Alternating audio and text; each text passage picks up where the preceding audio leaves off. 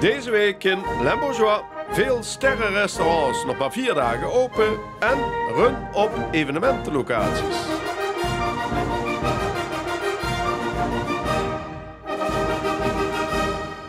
Je ziet het steeds meer. Sterrenrestaurants die nog maar vier dagen in de week open zijn. En dat is niet omdat er te weinig gasten zijn, in tegendeel. Maar ze moeten het personeel te vriend houden.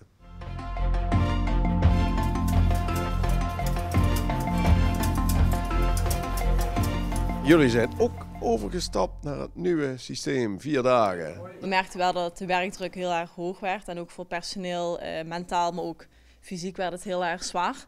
Dus we dachten van oké, er moet een oplossing komen. Maar wat wordt die oplossing? Um, dus we hebben besloten inderdaad om een dag extra dicht te gaan. In wezen is het natuurlijk ook om het personeel een beetje te vriend te houden, zeg maar. Ja, ja dat is het grootste deel natuurlijk. Weet je, dus Mensen vinden het al heel moeilijk, maar mensen vasthouden dat is nog uh, moeilijker. In de zin van, hè, uh, er zijn zoveel restaurants die mensen zoeken. En je moet gewoon heel erg dankbaar zijn met het personeel wat je hebt. En ook uh, bedenken van wat, hoe kun je ze het beste vasthouden. En dat is, ja, dat is wel aantrekkelijk, denk ik. En zeker in de tijd waar we nu in leven, dat we daar toch wel meer naartoe moeten gaan om ja, zo te gaan denken. Waren jullie al voor corona bezig met dat concept van vier dagen in de week? Of is dat echt door corona gekomen? Nee, dat waren we van tevoren. We zijn volgens mij in 2018 eh, zijn we, ehm, misschien iets eerder zelfs, zijn we begonnen met een vierdagse werkweek. En in 2018 zijn we nog maar vier dagen open gegaan, dus dat was al uh, voor corona, ja. En was dat toen al vanwege tegemoetkoming aan het personeel? Nou, ja. Ehm, maar goed, het, is, het blijft een soort topsport uh, wat we doen. Hè. En um, ja, je merkt als je vier dagen open bent en dus drie dagen gesloten, ja, het team is veel fitter en dingen worden nog scherper. Dus uiteindelijk wordt de kwaliteit uh, nog beter. Um, ja, je merkt als je vier dagen open bent en dus drie dagen gesloten, ja, het team is veel fitter en dingen worden nog scherper. Dus uiteindelijk wordt de kwaliteit uh, nog beter. Is het publiek eraan gewend? Ja, goed, de mensen kijken gewoon wanneer ze kunnen reserveren. Dus dit, je gaat naar een website en je kijkt op het reserveringssysteem en uh, wanneer is het restaurant open. En als, als ze per se in een restaurant One willen komen, ja, of we dan nu maandag, dinsdag gewoon, ze komen als, als, als je open bent. Hè. Dus uh, nee, de, de, gasten zijn daar zeker aan gewend. Ja, ja. En we zijn de belangrijkste dagen, de vrijdag, zaterdag zijn natuurlijk gewoon open. Ja, dus uh, nee, dat gaat, dat gaat prima. Heb je uh, niet wel eens dat je denkt van, goh, we hebben zoveel aanvraag, we laten wel extra omzet liggen. Want als we vijf dagen open waren geweest, hadden we die ook nog meegepakt. Ja goed, maar het leven draait niet alleen om omzet. Hè.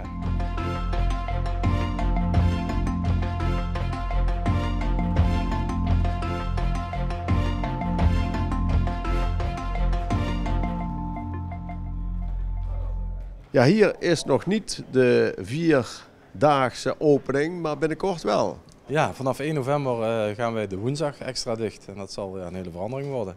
Dus dat is maandag, dinsdag, woensdag maandag, dicht? dinsdag, woensdag dicht. En dan werken we van uh, donderdag tot en met zondag, uh, smiddags en s avonds. ja. ja. Personeel, daar gaat het om in de eerste plaats. Of is het ook voor jezelf? Beide. Beide. Ja, we hebben natuurlijk een heel zwaar uh, jaar achter de rug, uh, net als uh, alle horecazaken. Gelukkig hebben we al onze mensen weten te behouden, dus ons team staat nog.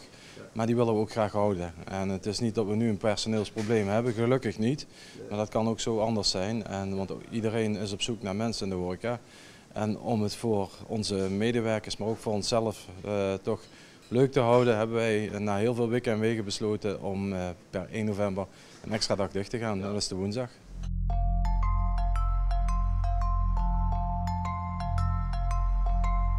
Je hebt ooit nog eens gewerkt bij de roemruchte Paul Bocuse, ik uh, Zaliger. Ik denk, bij hem moest je niet aankomen met vier dagen opening, kan ik me zo voorstellen. Meneer Bocuse die had één dag per jaar dicht en dat was 1 januari. En uh, wij werkten daar zes dagen in de week, van s morgens tot s avonds. En dat was ja, niet ter sprake, nee. Vanuit de overheid mag er weer meer op evenementengebied, maar is er ook weer vraag naar particuliere en zakelijke evenementen en kunnen de organisatoren het ook aan qua organisatie?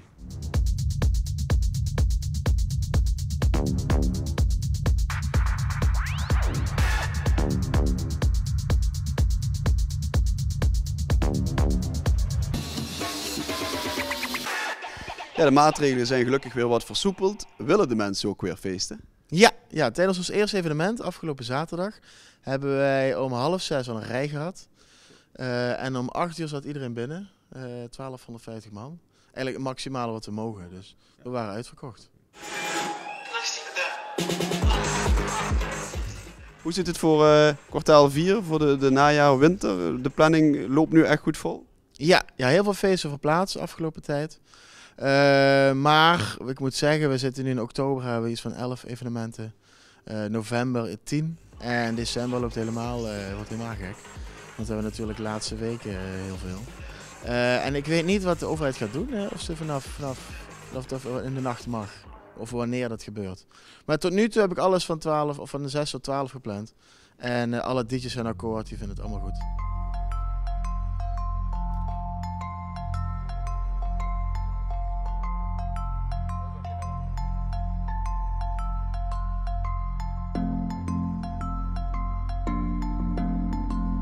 De maatregelen worden wat gelost, dus er kan weer gefeest worden. Zie je dat ook bij jouw aanvragen? Ja, dat zien we zeker in de afgelopen twee weken zien we dat nu terugkomen. Er uh, wordt nu vooral gepland richting november, december. Daar zijn we heel blij mee uiteraard.